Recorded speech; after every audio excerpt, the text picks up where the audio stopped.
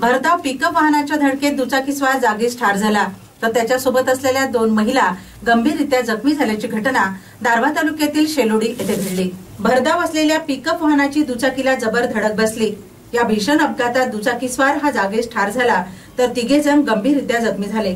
अपघाताची ही घटना यवतमाळच्या दारव्हा येथील सलोडी गावाजवळ घडली. युवराज उत्तम आडे असे अपघातात मृत्यू झालेल्या युवकाचे नाव आहे. तर नबीबाई आडे पूजा गोपाल चव्हाण हे तिघेजण गंभीररित्या जखमी झाले असून जखमींना ग्रामीण रुग्णालयात उपचारार्थ दाखल करण्यात आले.